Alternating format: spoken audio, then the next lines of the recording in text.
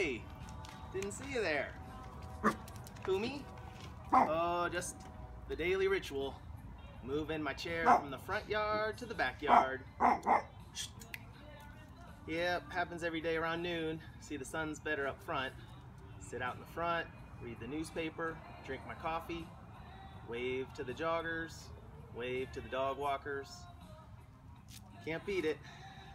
Of course, the sun's better in the backyard around noon. So I move my Bluetooth speaker, my newspaper, and my chair back to the back, switch my coffee out for a cocktail. Have you had one of my new cocktails? You haven't? Well, let me make you one.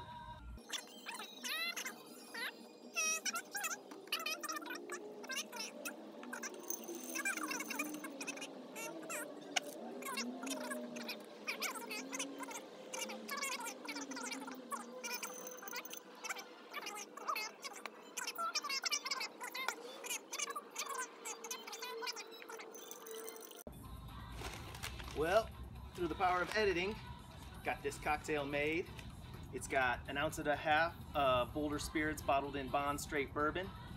It's got an ounce of Kroger brand ginger beer. That's my favorite brand of ginger beer.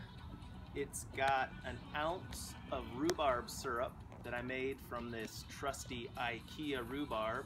I've got two to one uh, water to syrup there to dilute it a little bit.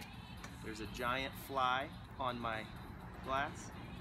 And then I want to add the finishing touches to my drink called the Cross Breeze.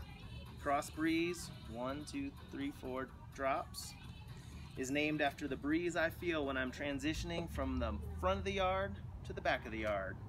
Express a twist of this is blood orange. Wrap that around the rim, drop it in. Because that's the little things that I appreciate.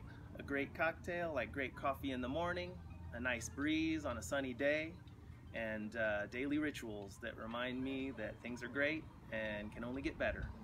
Cheers to you.